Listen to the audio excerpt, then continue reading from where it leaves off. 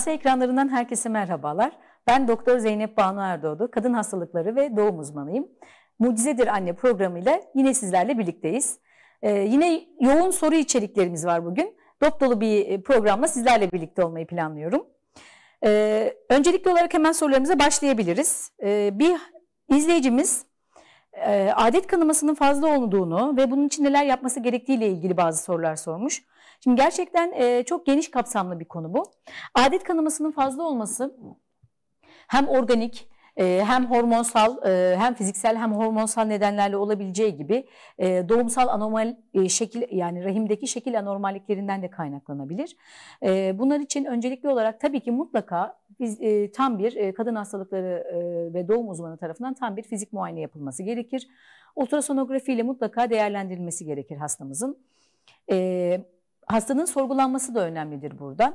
E, çünkü bazen e, pıhtılaşma problemleri olan hastalarımızda da bu normal olan adet kanamaları da e, sonradan da or, ortaya çıkan, edinsel olarak ortaya çıkan e, hastalıklar dediğimiz işte pıhtılaşma bozuklukları, kan pulcuklarının e, yeterince aktif olarak çalışmamasından kaynaklı e, kanama miktarını artırabilir.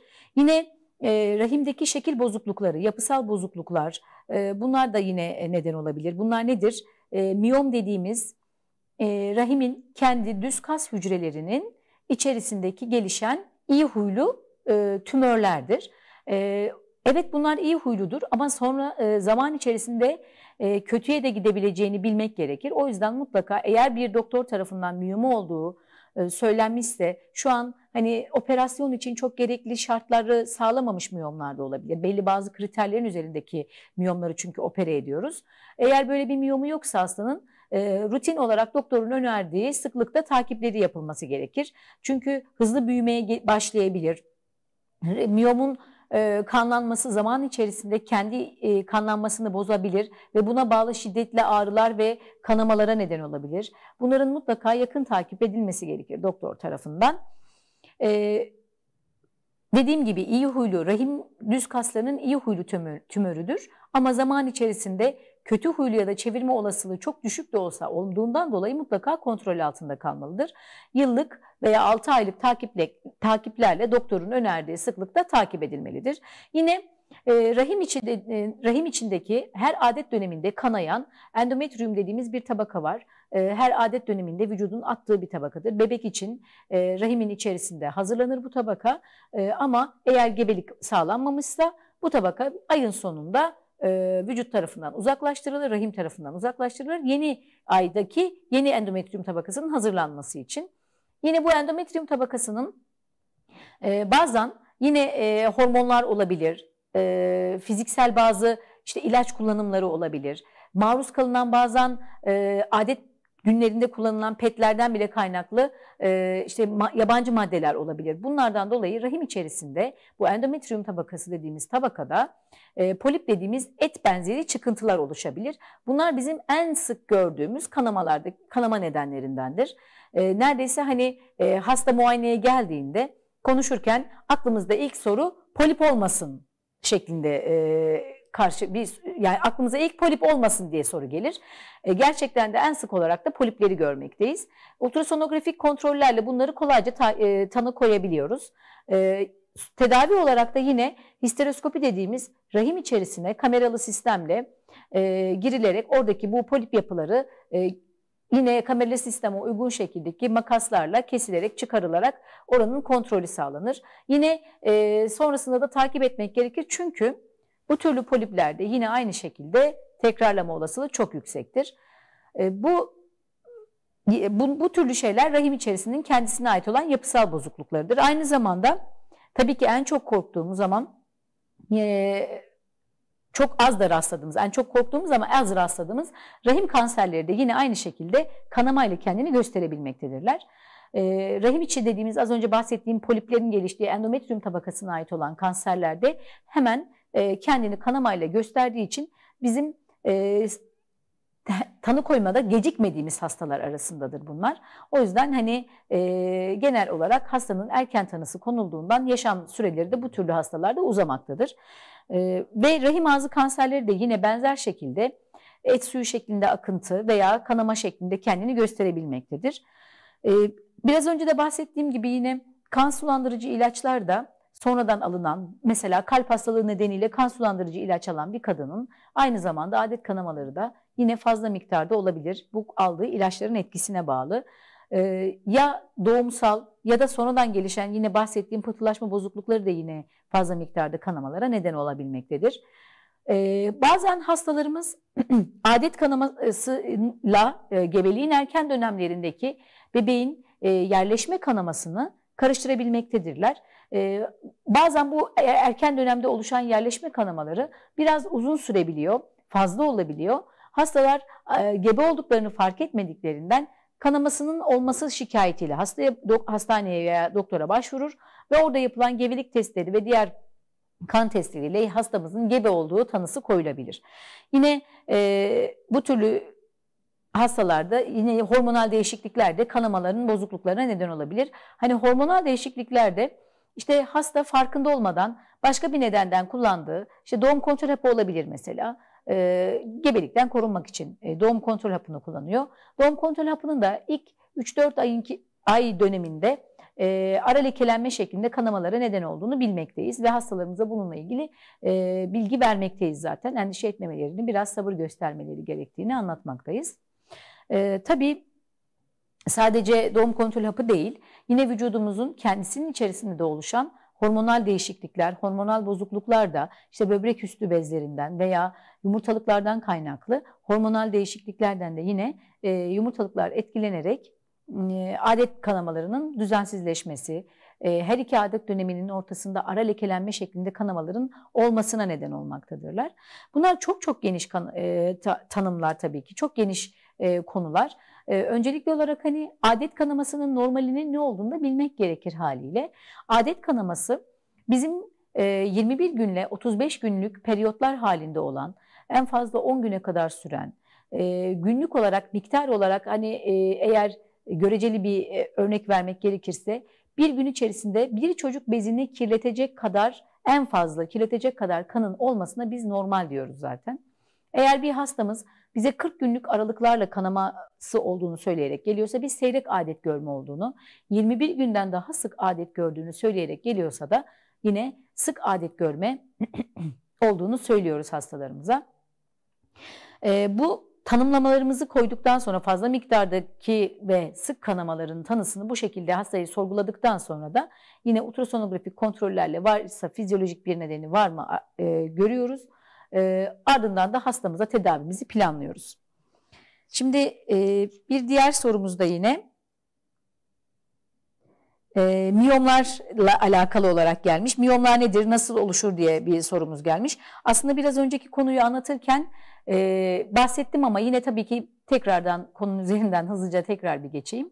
E, miyomlar e, rahim içinin, rahimin kendisine ait olan düz kas hücrelerinin iyi huylu tümörleridir. Biz bunlara leomiyomlar diyoruz. E, bir de biraz önce de dedim ama ilerleyen zamanlarda eğer e, kendi içerisinde hücresel değişikliklere neden olma e, neden hücresel değişiklikler oluyorsa leomiyosarkom dediğimiz düz kas hücrelerinin kötü huylu tümörlerine dönüşebilmektedirler. E, bunlar da hani e, bazen ilerleyen safhalarda ancak hasta tarafından fark edilebilir. O yüzden biz her zaman söylüyoruz bunu. Yıllık kadın hastalıkları ve doğum kontrolü mutlaka kontrolümüzü yaptırmalıyız. Mutlaka doktorumuza e, ultrasonografik olarak veya rahim ağzı e, kanseri testi simir yaptırarak kontrolümüzü yaptırmalıyız. Ancak bu şekilde bunları atlamadan erken dönemlerde yakalayabiliriz. Yine başka bir sorumuza bakalım. Ee, çok özür dilerim. Bazen telefonda da oluyor buraya yazmamış yeni gelen sorulardan. Evet. Polikistik over e, olan kişiler hamile kalabilir mi diye bir sorumuz var. Ee, evet tabii ki kalabilirler. Polikistik over sendromunun ne olduğuyla alakalı şöyle hızlıca bahsedeyim öncelikle.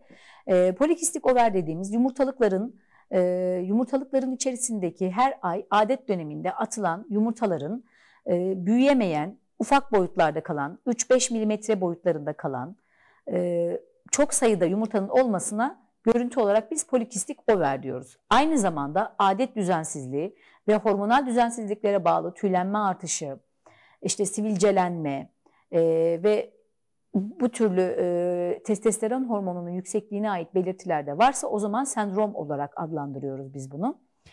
E, polikistik over sendromunda eğer e, adet düzensizliği varsa tabii gebe kalma planlı olması biraz zor olur. Çünkü e, adetin düzeni olmayan bir hastanın e, gebe kalmayı planlaması da zor oluyor.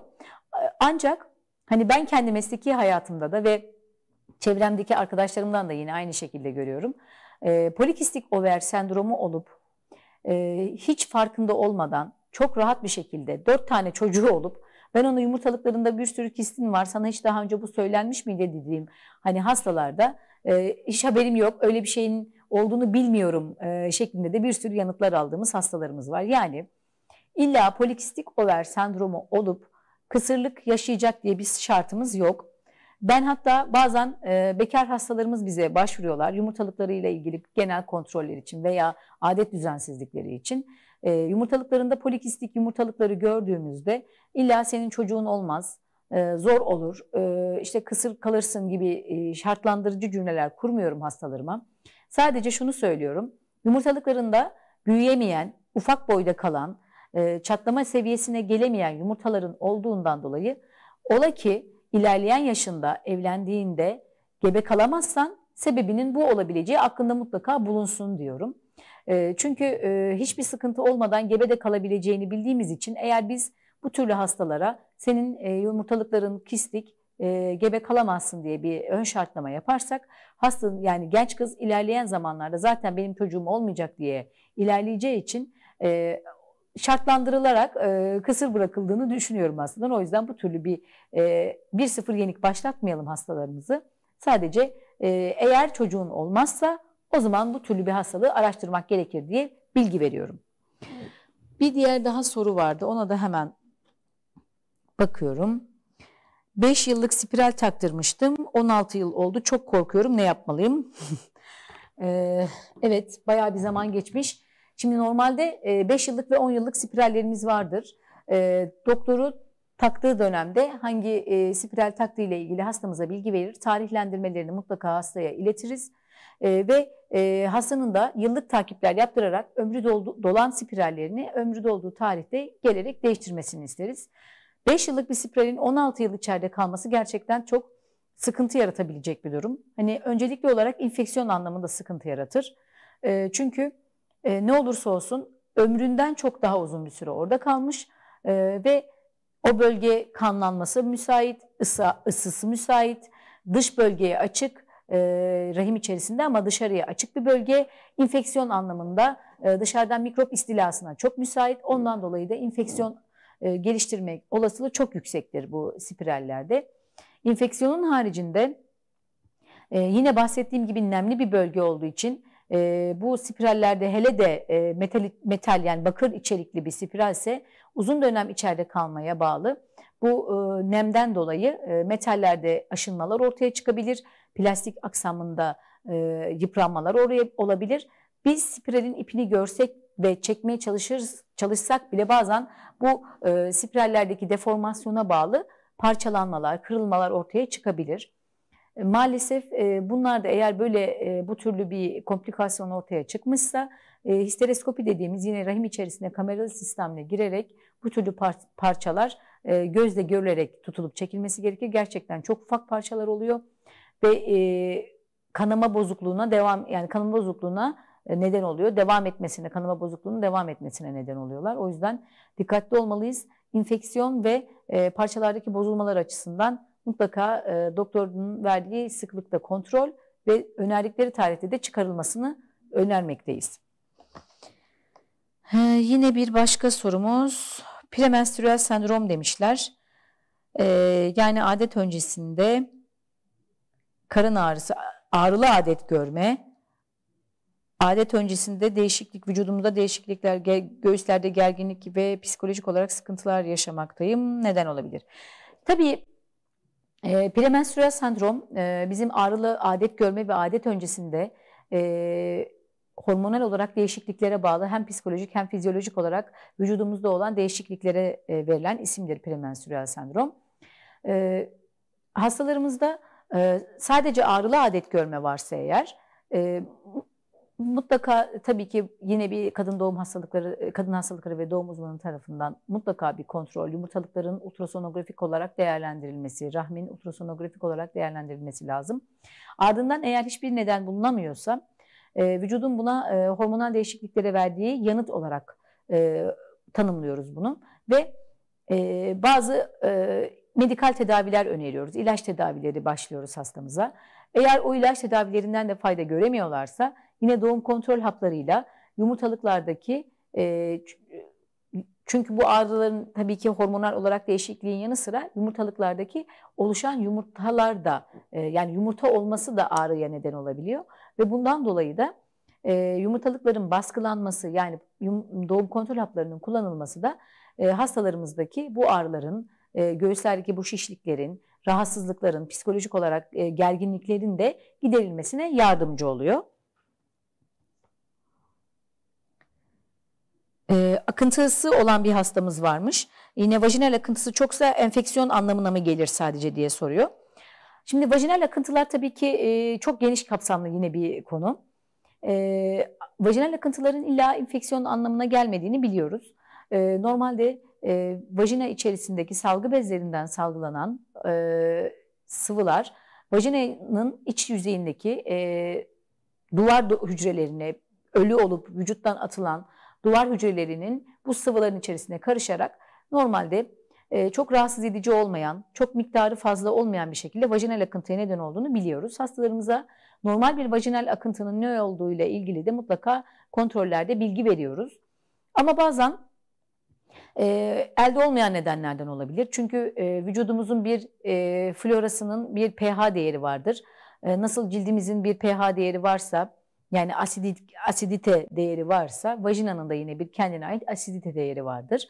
Bu asidite, asitlik değerinde de eğer e, ola ki e, işte çamaşır çam, kullandığı çamaşırlar işte naylon, naylon içerikli çamaşır kullanıyorsa genital bölgeyi çok, çok sık yıkayarak veya sabun içerikli şimdi vajina e, pH'sı asidik ancak e, kullanılan sabun içerikleri e, pH'sı bazik olduğu için eğer sabunla genital bölge temizliği yapılıyorsa veya e, hava almayan dar kıyafetler giyiliyorsa, e, uygun olmayan, e, hijyeni bozuk e, tuvaletlerde tuvalete gidilmiş olabilir bazen e, veya ağızdan alınan e, hormonal e, haplar da olabilir veya ağızdan alınan antibiyotikler de yine genital bölgede enfeksiyonları kolaylaştırıcı etkenlerdir.